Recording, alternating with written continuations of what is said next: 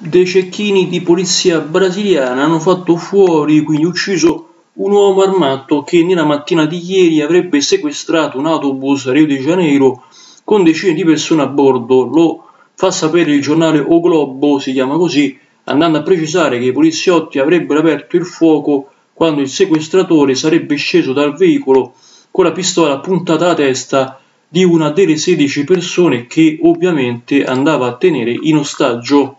Una storia triste è quella che vi ho narrato in questo video di oggi. I cecchini hanno aperto il fuoco nei confronti dell'uomo facendolo fuori e ovviamente non c'è stato alcuno scampo di sorta per l'uomo in questione che è morto sul colpo. Vi ricordo che c'è stata quindi la morte dell'uomo in questione.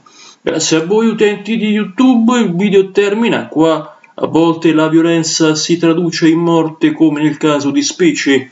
Un saluto caro da Leandro, alias dal vostro amato narratore italiano.